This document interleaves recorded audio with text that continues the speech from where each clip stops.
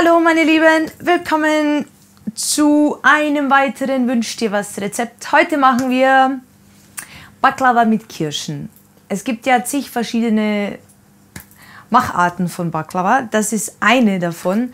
Äh, ich glaube zu wissen, ich glaube zu wissen, die richtige Baklava ist mit Pistazien gefüllt. Also bei uns in, im Jugoland macht man es mit ähm, Walnüssen, da ja die Pistazien doch etwas teurer sind. Bevor wir beginnen, äh, ich wurde des Öfteren gefragt, woher ich meine Musik habe. Ich werde euch unten in der Infobox ähm, eine Seite verlinken, da könnt ihr euch durchstöbern. Und auch natürlich an meine YouTube-Kollegen, äh, falls jemand Musik sucht, da könnt ihr welche kaufen.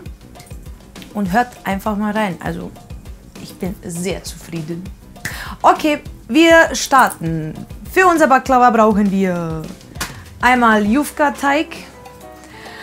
Äh, den habe ich jetzt vom türkischen Händler. Ähm, wer keinen in der Nähe hat, verlinke ich euch unten eine Seite, wo ihr eventuell welches bestellen könnt. Dann haben wir Kirschen, Backpulver, Vanillezucker, etwas Zimt, Walnüsse, Joghurt, Öl, Eier und Zucker. Und für das äh, Sirup, für den Sirup, Wasser und Zucker schon vermischt. Das war's. Fang mal an. So, meine Hübschen, als erstes werden wir uns jetzt mal äh, das Ei mit dem Zucker schön weißcremig schlagen. Und dann geben wir das Öl, äh, den Joghurt noch dazu.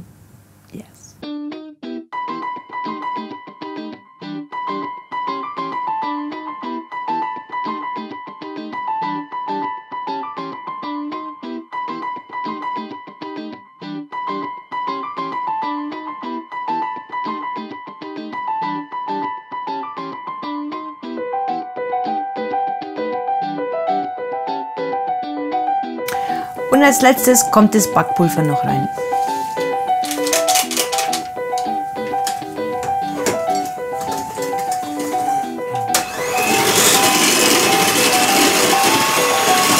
So, als nächstes nehmen wir uns jetzt mal ein Blatt von der äh, Jufka. Darauf geben wir etwas von diesem Eigemisch. Also schön verstreichen.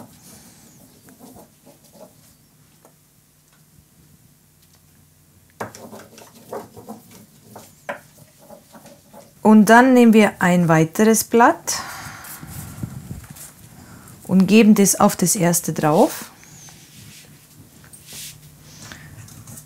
Und wieder die Eimasse drüber. Alles nochmal schön verstreichen.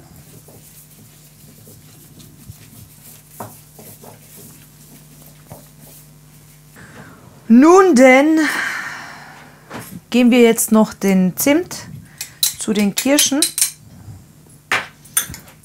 Einmal kurz umrühren.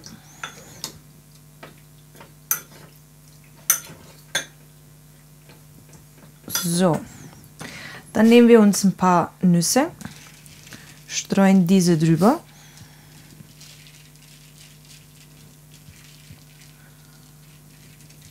Also ihr könnt auch wahlweise Pistazien oder Haselnüsse nehmen. Schmeckt auch sehr gut. So, jetzt äh, schneiden wir uns einige Streifen.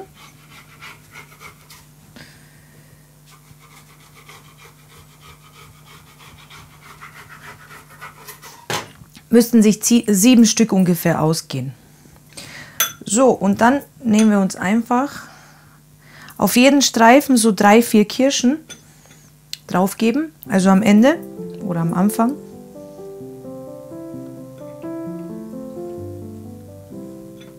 Und dann das Ganze einfach in so kleine ähm, Dreiecke rollen.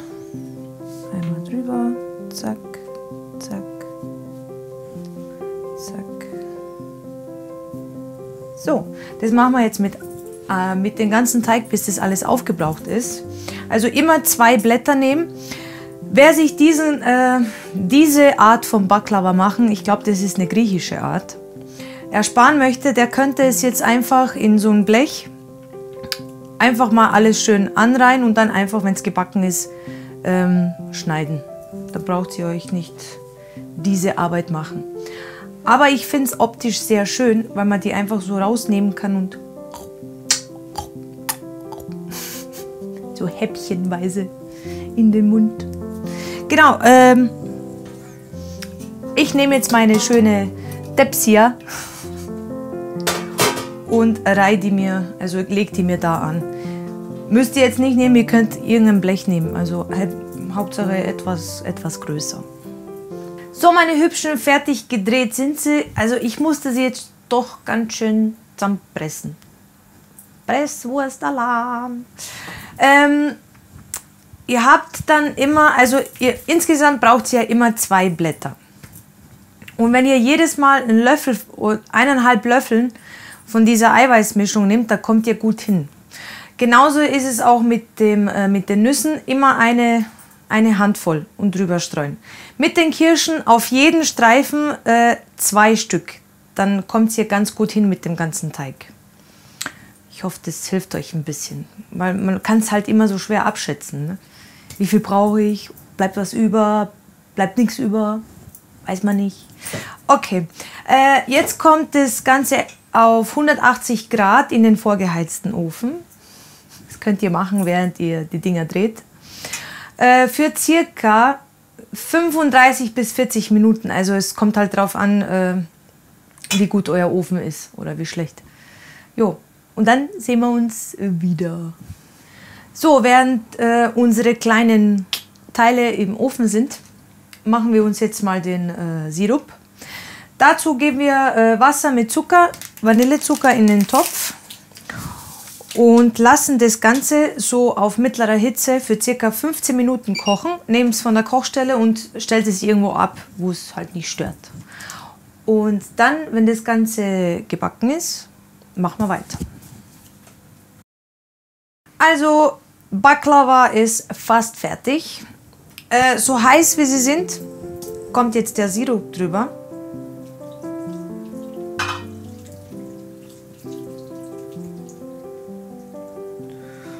Und das Ganze können Sie jetzt mit Alufolie oder ja, abdecken und irgendwo an einem stillen Örtchen vor sich hin ruhen lassen. Also der soll sich schön äh, vollsaugen.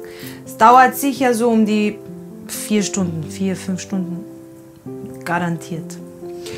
Okay, meine Hübschen, ähm, ich wollte noch ganz kurz Danke an euch sagen für die liebe, für die lieben Kommentare, für eure Treue und dass ihr mich so gut aufgefasst habt all die Zeit. Ja, wollte ich mal Danke sagen.